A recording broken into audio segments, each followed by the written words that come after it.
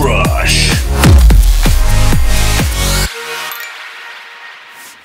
Rushers! Sejam todos muitíssimamente bem-vindos a mais um vídeo aqui no canal Rush Rush. O meu nome é Guilherme Freitas e no vídeo de hoje eu queria bater um papinho com vocês aqui sobre o conteúdo do canal, o ritmo de postagem e essa experiência incrível aí que foi produzir vídeos diários por quase três semanas. Mas primeiro, nesse vídeo aqui você verá como eu transformei essa minha selfie toda bugada aqui né, no Liquify em uma obra-prima. Pelo menos eu espero que tenha ficado legal, né? Deixa o like aí se você curtir o resultado no final do vídeo. E hoje o objetivo é transformar fotos em pinturas digitais. E nada melhor do que algo todo deformado assim, para pelo menos ser interessante e divertido, né?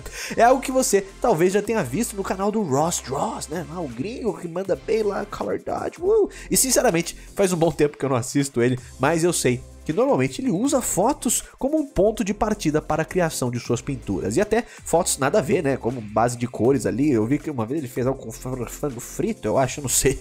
e realmente é muito interessante trabalhar com esse tipo de recurso. Ao invés de caçar coisas novas, né? E cores e em que cor que eu uso, o exercício aqui é encontrar o que já existe, tanto em questão de cor quanto formato, e ver o que, que dá para você aproveitar para expandir e melhorar. Eu também quis utilizar ali a cor da minha camiseta, você pode ver ver aí que eu estava com uma roupinha do Hulk e eu usei isso como uma influência para decidir a cor da minha armadura, porque já que eu tô fazendo algo doido assim, que seja com uma armadura também. E eu já quero avisar você para continuar vendo até o final, porque talvez a próxima arte aqui possa te envolver, hein? Hã? Pequena dica, fica aí, continue, continue vendo. Eu queria também compartilhar o que eu aprendi nessas semanas, né? Então é possível um canal de desenho no YouTube ser super ativo? É sim, mas é muito difícil, pessoal. Não existe descanso nem final de semana.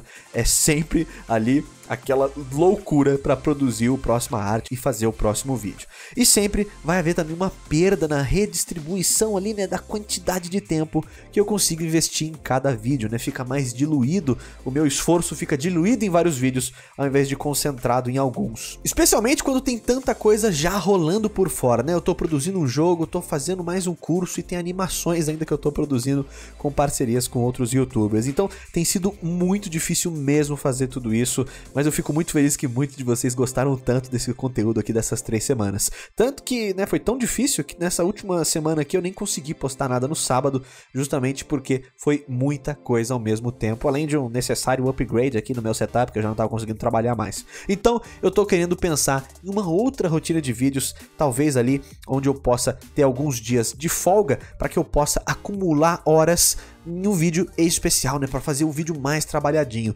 É, mas eu também queria colocar mais lives, né, pra gente não ficar desfalcado. Eu não sei como é que vai ser ainda essa nova estrutura, mas eu não consigo manter esse mesmo ritmo de produção aqui o tempo inteiro, né? E produzir tudo por fora também que precisa acontecer com os cursos e com o jogo e com Strawberry Warriors, mas eu prometo que o canal ainda continuará super ativo e que nem vai dar tempo para vocês sentirem saudade de mim aí, viu? Eu vou testar esse novo formato e vocês vão ver aí o que vocês acham durante essa semana. A minha ideia é que as artes mais trabalhadas compensem um dia ou outro sem vídeo e talvez a gente possa ali enfiar uma live onde a gente puder para dar uma compensada também. Então fique de olho aqui no canal, não perca o conteúdo porque vai ter muita coisa maneira vindo aqui ainda essa semana. Outra coisa que eu tava reparando, né, com essas experiências de produzir conteúdo diário, eu nunca olhei tanto para o Analytics assim na minha vida, né? Eu nunca reparei tanto para ver o que, que funcionou, o que não funcionou, qual horário que lança o vídeo, essas coisas, esses detalhes que um youtuber profissional devia saber, né?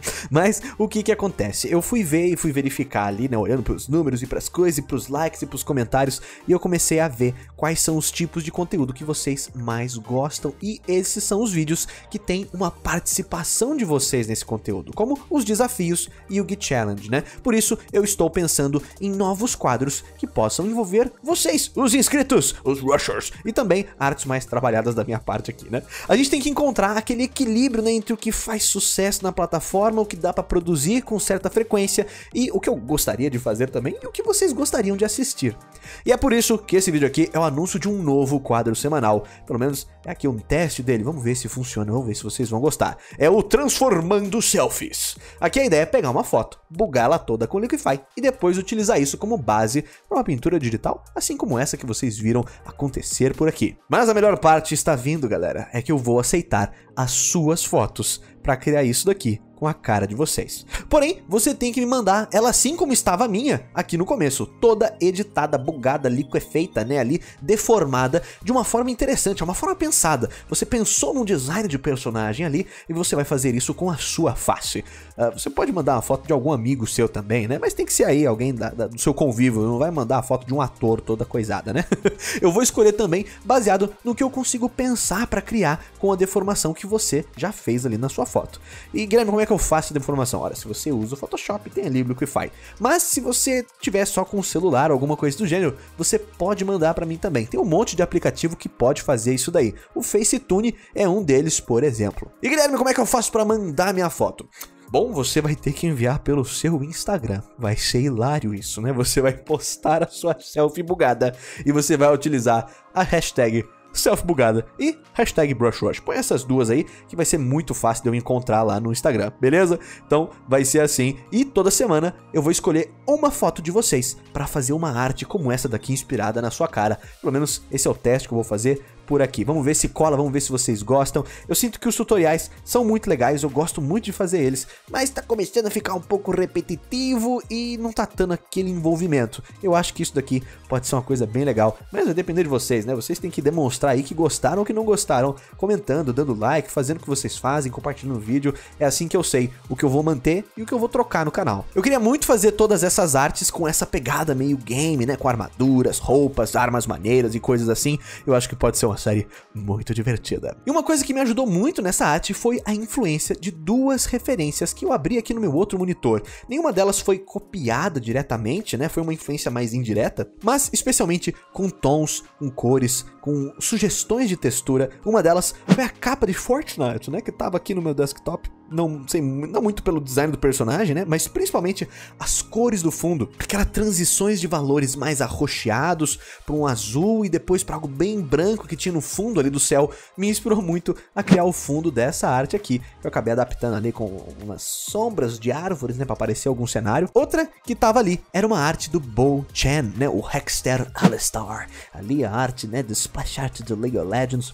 Muito bem feita. E o jeito como ele definiu o metal e os detalhes da armadura me inspiraram muito a encontrar as minhas próprias soluções para essa armadura aqui. Esse é um dos pontos que eu tenho muita dificuldade e eu sinto que eu consegui praticar muito e aprender bastante com esse desenho aqui, onde eu pude né, contar com essas duas referências. Eu sinto que cada vez mais eu tô chegando perto de algo que o Guilherme de 5 anos atrás nunca poderia sequer ter imaginado fazer na vida. E se você hoje também tá numa posição aí onde o que você quer fazer parece impossível, se dedica, não desiste, que você nem vai reparar quando você já tiver uma mudança de percepção e agora o seu trabalho já é o impossível.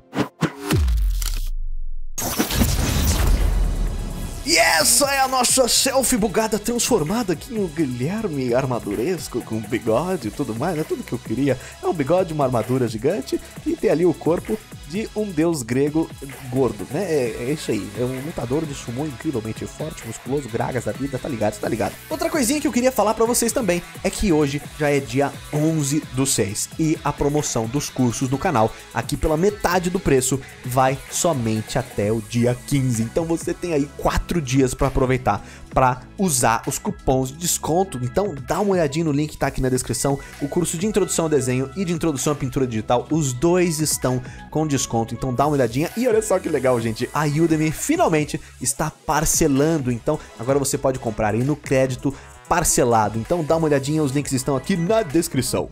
Então, pessoal, muito obrigado aí pela presença. Espero que vocês tenham curtido mais este vídeo e me digam aí se vocês curtiram, se tá legal essa ideia, se vocês acharam maneiro. Antes de tudo, né, manda pra mim lá no Instagram a sua foto bugada que eu vou tentar transformar ela numa arte na próxima semana. É isso aí, galera. Muito obrigado. Valeu e falou!